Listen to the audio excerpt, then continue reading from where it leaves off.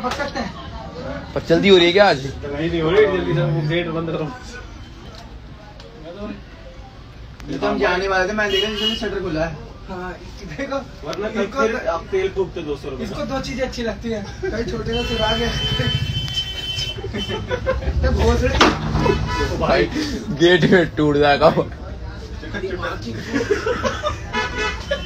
भाई बाहर निकल भाई भाई डेली के पार्सल ऐसे पैक होके जाते हैं।